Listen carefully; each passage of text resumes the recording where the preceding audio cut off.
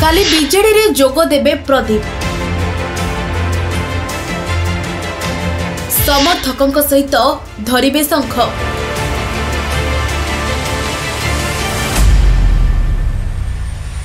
କଂଗ୍ରେସରେ ପଡ଼ିବ କି ପ୍ରଭାବ?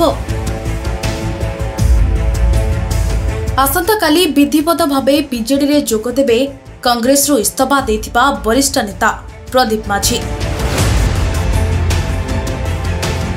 ନବରଙ୍ଗପୁରରେ ଏକ ସ୍ୱତନ୍ତ୍ର କାର୍ଯ୍ୟକ୍ରମରେ ମିଶ୍ରଣ ପର୍ବରେ ସେ ଶଙ୍ଖ ଧରିବେ। ନିଜ ସମର୍ଥକମାନଙ୍କୁ ଧରି ସାଂଗଠନିକ ସମ୍ପାଦକ ପ୍ରଣବ ପ୍ରକାଶ ଦାସଙ୍କ ଉପସ୍ଥିତିରେ ବିଜେଡିରେ ମିଶିବେ। ବିଜେଡିରେ ମିଶିବା ନେଇ ପୂର୍ବରୁ ସୂଚନା ଦେଇଥିଲେ ପ୍ରଦୀପ ମାଝୀ ଗତ ବାଇଶ ତାରିଖରେ ପ୍ରଦୀପ କଂଗ୍ରେସ ନେତୃତ୍ୱ ପ୍ରତି ଆଙ୍ଗୁଳି ଉଠାଇ ଦଳରୁ ଇସ୍ତଫା ଦେଇଥିଲେ। କଂଗ୍ରେସ ହାଇକମାଣ୍ଡ ପ୍ରଭାରୀ ଓ ପିସିସି ସଭାପତିଙ୍କୁ ପ୍ରାଥମିକ ସଦସ୍ୟ ପଦରୁ ଇସ୍ତଫା ଦେଉଥିବା ଉଲ୍ଲେଖ କରି ପତ୍ର ମଧ୍ୟ ପଠାଇଥିଲେ। ଦଳରେ କାମ କରିବାକୁ ସୁଯୋଗ ମିଳିନଥିବାରୁ ଦୁଃଖରେ ଦଳ ଛାଡୁଥିବା ଲେଖିଥିଲେ। ରାଜ୍ୟବାସୀଙ୍କ ପାଖରେ କଂଗ୍ରେସ ତାର ବିଶ୍ୱସନୀୟତା ହରାଇଛି ବୋଲି ଇସ୍ତଫା ପତ୍ରରେ ଉଲ୍ଲେଖ କରିଥିଲେ ପ୍ରଦୀପ। କଂଗ୍ରେସ ଛାଡ଼ିବା ବେଳେ ପିସିସି କାର୍ଯ୍ୟକାରୀ ସଭାପତି ଦାୟିତ୍ୱରେ ଥିଲେ ଦକ୍ଷିଣ ଓଡ଼ିଶାର ଏହି ନେତା।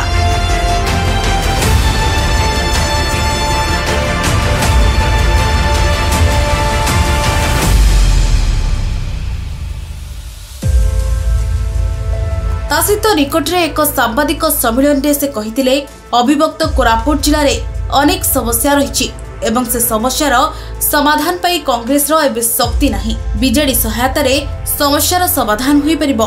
ଗଣତନ୍ତ୍ରରେ ଦଳ ବଦଳ କିଛି ନୂଆ କଥା ନୁହେଁ।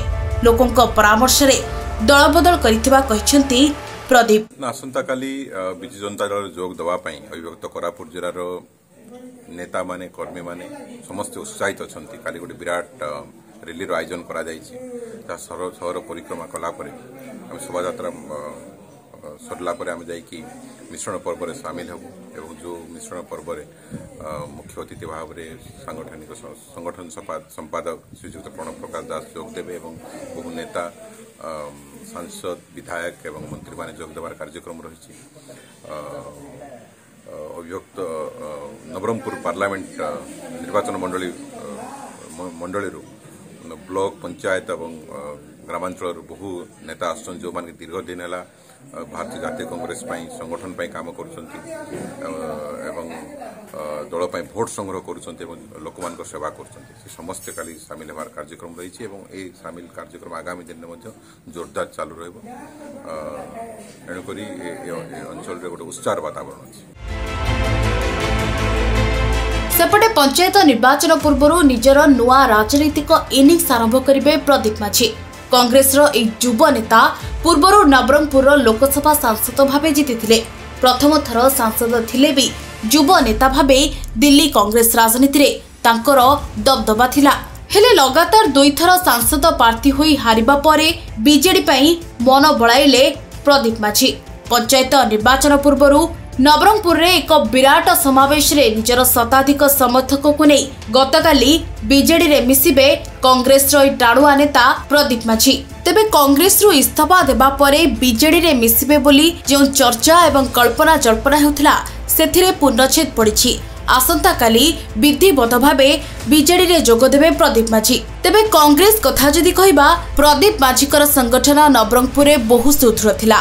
ତେବେ ପଞ୍ଚାୟତ ନିର୍ବାଚନ ପୂର୍ବରୁ ପ୍ରଦୀପ ମାଝୀଙ୍କର ହଠାତ୍ ବିଜେଡିକୁ ପଳେଇବା କଂଗ୍ରେସ ଉପରେ କି ପ୍ରଭାବ ପକାଇବ ସେ ନେଇ ଏବେ ଚର୍ଚ୍ଚା ଜୋର ଧରିଛି। ଗୋଟେ ପଟେ କଂଗ୍ରେସରେ ଗୋଷ୍ଠୀ କନ୍ଦଳ ଚାଲିଥିବା ବେଳେ ବର୍ତ୍ତମାନ ଗୋଟେ ପରେ ଗୋଟେ ଟାଣୁଆ ନେତାଙ୍କର କଂଗ୍ରେସ ଦଳ ଛାଡ଼ିବା ଏବଂ ବିଜେଡିରେ ଯୋଗଦେବା ମହଙ୍ଗା ପଡୁଛି କଂଗ୍ରେସକୁ। ତେବେ ଆଗକୁ ପଞ୍ଚାୟତ ଓ ପୌର ନିର୍ବାଚନ ହେବାକୁ ଥିବା ବେଳେ କଂଗ୍ରେସ ଦଳର ସ୍ଥିତି କି ପ୍ରକାର ହେବ ତା ଉପରେ ସମସ୍ତଙ୍କ ନଜର ରହିଛି।